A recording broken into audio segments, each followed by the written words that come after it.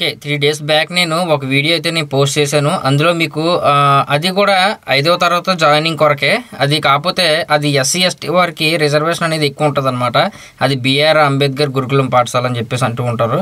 అయితే ఇప్పుడు ప్రజెంట్ మనకి ఇంకొక నోటిఫికేషన్ అయితే రిలీజ్ అయింది అనమాట అది ఇది మీ అందరికీ తెలుసు మహాత్మా జ్యోతి బాపులే ఆ, గురుకుల విద్యాలయం అని చెప్పేసి అంటూ ఉంటారు.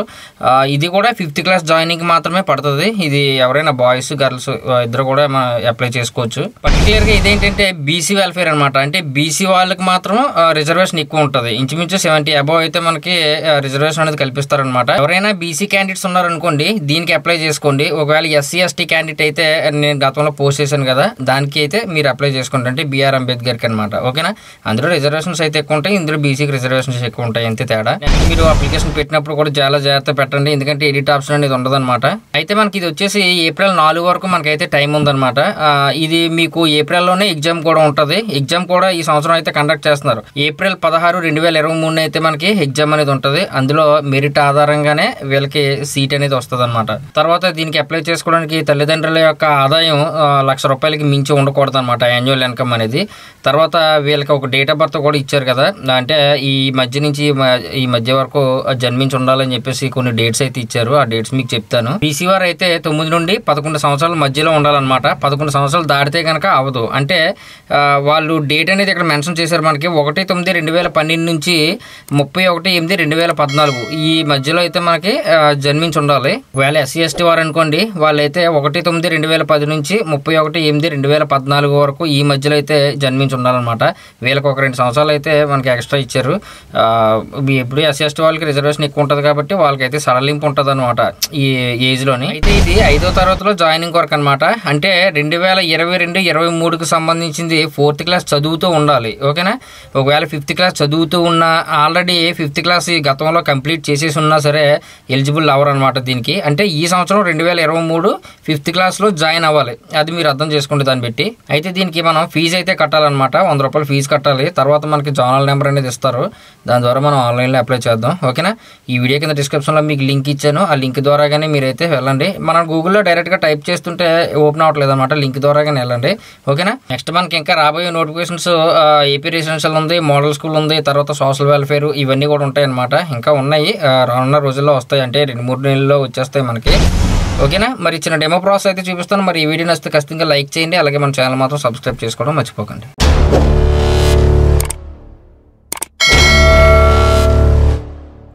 చూడండి వీడియో కింద డిస్క్రిప్షన్లో నేను ఈ లింక్ అయితే ఇచ్చాను. ఆ లింక్ను ఓపెన్ చేయగానే మీకు వెబ్సైట్ ఈ విధంగా ఓపెన్ అవుద్ది. మీరు ఇక్కడ చూసుకోవచ్చు మహాత్మా జ్యోతి బాపులే అనమాట ఈ ఫిఫ్త్ క్లాస్ జాయినింగ్కి నెక్స్ట్ ఇక్కడ ఆన్లైన్ అప్లికేషన్ అని చెప్పేసి ఉంది కదా. ఇక్కడ మీరు డేట్ కూడా చూసుకోవచ్చు. పదహారు నాలుగున అయితే మనకి ఎగ్జామ్ అనేది ఉంటుంది.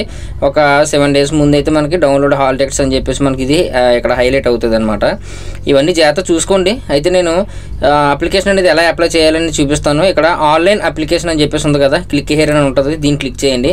క్లిక్ చేయగానే ఇక్కడ స్టూడెంట్ యొక్క Aadhaar card number mobile number ఈ రెండు కూడా ఎంటర్ చేస్తారు. ఇక్కడ పే అని చెప్పేసి ఉంది కదా వంద రూపాయలు మనం పే అయితే వంద రూపాయలు ఫీజు అయితే కట్టాలి. కట్టిన తర్వాత మనకి జోనల్ నెంబర్ అనేది ఇస్తారనమాట ఓకేనా? దాని ద్వారా మనం ఆన్లైన్లో పెట్టాలన్నమాట.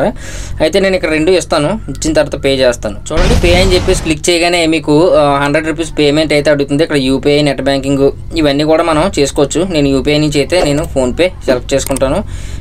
యూపీఐ నుంచి అయితే నేను పే చేస్తాను. చూడండి ఇక్కడ పేమెంట్ చేయగానే మనకి ఇది పేజీ అనేది రీఫ్రెష్ అవుతుంది అనమాట ఒకసారి మీరు ఇక్కడ ఏం చేయకూడదు. మనకి జోనల్ నెంబర్ అనేది సక్సెస్ఫుల్గా కంప్లీట్ అయ్యే వరకు ఇక్కడైతే వెయిట్ చేయాలి. ఓకేనా? ఇక్కడ మనకి క్యాండిడేట్ ఐడి అప్లికేషన్ నెంబర్ అని చెప్పేసి వచ్చింది కదా దీన్ని కాపీ చేసుకోండి. ఇక్కడ మీకు ట్రాన్సాక్షన్ నెంబర్ కూడా వస్తుంది. ఓకేనా? మొత్తం టోటల్గా దీన్ని అయితే స్క్రీన్ షాట్ తీసుకోండి. ఎందుకంటే మనకి ఇది ఉపయోగపడుతుంది అనమాట ఇక్కడ అయిపోయిన తర్వాత ఇక్కడ హోమ్ పేజ్కి అయితే వచ్చేయండి. మళ్ళీ సేమ్ ప్రాసెస్ అండి. ఆన్లైన్ అప్లికేషన్ అని చెప్పేసి ఉంది కదా దీన్ని క్లిక్ చేసుకుంటారు. ఇక్కడ ఆధార్ నెంబర్ ఎంటర్ చేస్తారు. మొబైల్ నెంబర్ కూడా ఎంటర్ చేస్తారు. ఇందాక ఏది ఇచ్చారో అదే ఎంటర్ చేయాలి. ఓకేనా? తర్వాత ఇక్కడ ప్రొసీడ్ అని చెప్పేసి ఉంది కదా ప్రొసీడ్ టు పే అని. అయితే మళ్ళీ మీరు రెండోసారి పేమెంట్ అయితే కట్టవసరం లేదు. జస్ట్ ఇది క్లిక్ చేయండి అంతే చాలు. క్లిక్ చేయగానే మీకు ఎవరి క్యాండిడేట్ ఐడి అని చెప్పేసి ఐడి కూడా వచ్చేస్తుంది అనమాట డైరెక్ట్గా మీరు మళ్ళీ పే చేయాల్సిన పని ఉండదు అనమాట పే చేసినప్పుడు అదే ఆప్షన్ ఎంచుకోవాలి. మళ్ళీ మనం అప్లికేషన్ ఫిల్ చేయడానికి కూడా సేమ్ ఆప్షన్ అనమాట చూసుకోండి. దీన్ని ఓకే చేయండి. ఓకే చేయగానే మనకి అప్లికేషన్ ఫామ్ అయితే ఈ విధంగా ఓపెన్ అవుద్ది. మీరు ఇక్కడ చూసుకోవచ్చు. మీకు డీటెయిల్గా తెలుగులో కూడా ఉంటుంది. ఉంటుంది. జాగ్రత్తగా చూసి ఇక్కడ ఎంటర్ చేయండి. ఇక్కడ ఆధార్ నెంబర్ని ఎంటర్ చేయండి. స్టూడెంట్ అనమాట ఓకేనా? ఇక్కడ నేమ్ ఎంటర్ చేయండి. ఆధార్లో ఉన్న ప్రకారంగా స్కూల్ రికార్డ్స్లో ఆధార్లో కూడా ఒకేలా ఉండేలా అయితే చూసుకోండి పేరు అనేది ఒకవేళ ఒకేలాగా లేకపోతే మీరు స్కూల్ రికార్డ్స్లో కూడా మార్పించండి. ఓకేనా? ఆధార్ కార్డ్ మార్చడం అంటే మళ్ళీ కష్టం అయిపోద్ది కాబట్టి. ఇక్కడ ఫాదర్ నేమ్ అనేది ఎంటర్ చేయండి. తర్వాత మదర్ నేమ్ అనేది రాయండి. నెక్స్ట్ ఇక్కడ జెండర్ అనేది సెలెక్ట్ చేసుకోండి. నెక్స్ట్ ఇక్కడ మొబైల్ నెంబర్ ఎంటర్ చేయండి. ఇక్కడ డిస్ట్రిక్ట్ని సెలెక్ట్ చేసుకోండి. తర్వాత ఇక్కడ రిజర్వేషన్ కేటగిరీ. మీరు దేనికి చెందినవారు? అంటే బీసీడీ ఎస్సీ ఎస్టీ ఓసీ ఇవన్నీ కూడా ఉన్నాయి కదా.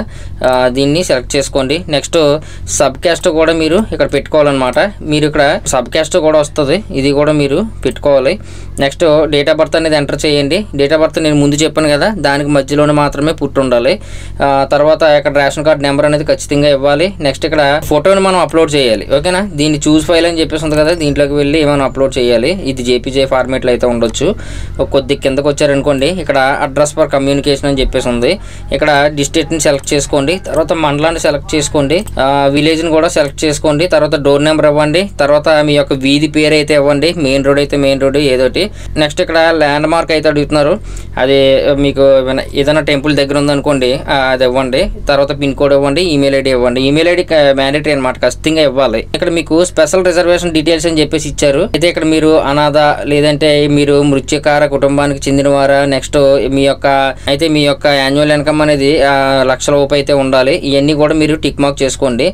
ఇక్కడ నో పెట్టేస్తున్నాను. అనాథ పిల్లల అని చెప్పేసి అడుగుతున్నారు. నో తర్వాత ఇక్కడ లక్ష రూపాయల కంటే తక్కువ ఉందా? ఎస్ హ్యాండిక్యాప్డా కాదా?